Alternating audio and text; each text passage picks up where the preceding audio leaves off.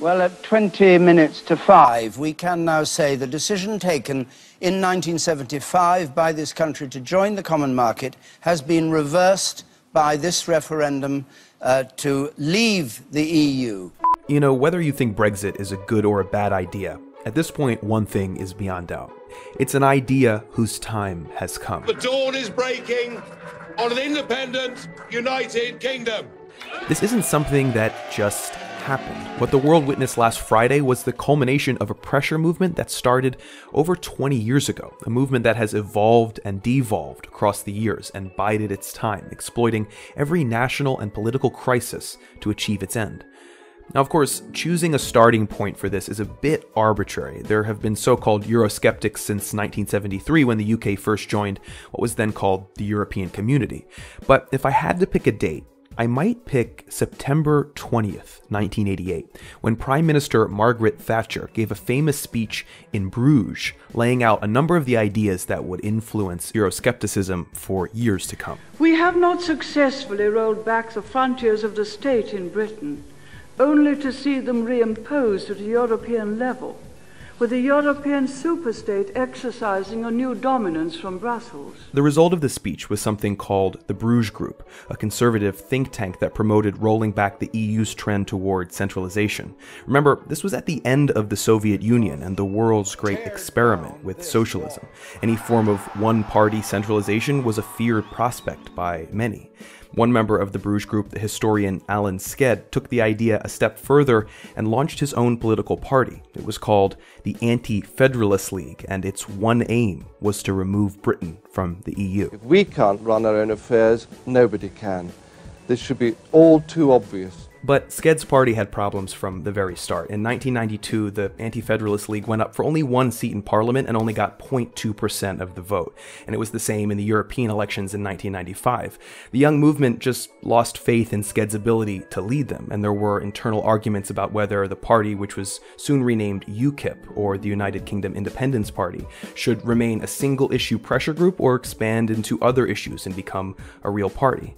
Then in 1994, a rival Eurosceptic party party called the Referendum Party exploded onto the scene, led by billionaire James Goldsmith, who had no such problems with infighting. All he wanted to do was have a referendum about leaving the EU, and once they got it, they would disband. We can only stop our politicians betraying our trust by holding a referendum which is legally binding on the government. The referendum party trounced UKIP in 1997, but both were trounced by Tony Blair and the rise of New Labour, which would hold the country for the next 13 years. And yet, for those who were looking closely, it was possible to see a lane opening up for doubt about the EU. In 92, only 9% thought Britain should leave the EC. By 97, that number had risen to 14%. And if you added to those who thought the EC should at least reduce its powers, you have 66% of the electorate expressing some form of Euroscepticism. There are a number of reasons why Europe was brought into voters' minds, but the most significant has got to be the signing of the Maastricht Treaty and the adoption of a single currency, something that in 1997 only 16% of Britons were in favor of. Despite these trends, UKIP looked dead in the water, but it was about to hit a few strokes of good luck. Well, bad luck for James Goldsmith, who passed away only three months after the 97 election, effectively disbanding UKIP's only direct competitor. Alan Sked was replaced by more aggressively populist figures like Nigel Farage, who won himself a seat in 1999 in, ironically, the European Parliament.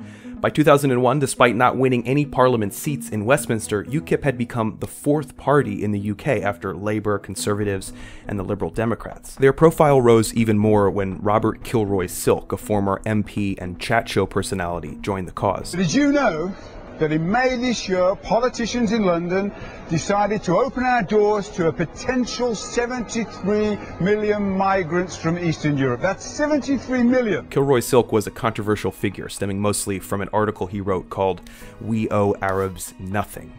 Silk delivered UKIP's largest victory in 2004's European parliamentary elections, coming in third above the Liberal Democrats, but more infighting eventually ousted him from the party within that year. Yet his example shows the willingness of UKIP to engage in the worst forms of populism race baiting, nationalism, and fear. Throughout the 2000s and into the 2010s, UKIP capitalized on a growing sentiment among the British people of national decline in the post colonial era, most keenly felt by the oldest citizens who made up the core of the vote to Brexit. And they capitalized too on crises like the financial meltdown in 2008, the riots that swept the country in 2011, and now the migrant crisis and international terrorism. UKIP and the far right assigned folk devils to many of these cases, like immigrants, Muslims, minorities, and welfare recipients. All of these things can bolster resentful nationalism, but they have to be triggered by something closer to home. In this case, a lot of the research points to the idea of class trajectory. I have no GP as all are full in my area. I can't get onto the housing ladder and have three kids in one room. The place where I grew up is now was a lovely area, but is now a no-go zone. How are you? My I can see my standard of living and my family's standard living going down because of this influx that we can't control. You can't say that UKIP is the sole force behind Brexit, but they've been there throughout the years to help link these real feelings of falling trajectories to emotions about national decline and moral panics that grip the public in fear, growing from minuscule roots into a significant player in the country's politics. The United Kingdom is not a far right state with a nationalistic, anti immigrant, and racist people, but their decision last week to leave the EU, won by a 52% majority of 72% of the population, can be viewed as an expression of a reactionary far right politics.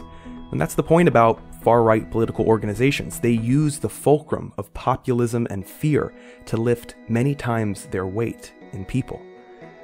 The ideas that animated this vote are there in Thatcher's speech from 1988. Of course, the irony is that Thatcher herself campaigned for Britain to join the EC the first time around in 1975. The even greater irony is that the unchecked capitalism she championed as prime minister led to a form of globalization that has ravaged the middle class, the real cause of the frustration that UKIP exploits to advocate a leave vote. But that's the difference that 40 years can make. Brexit recontextualizes all these small phenomena, threads a string through them, and shows that transformation doesn't always have to move forward.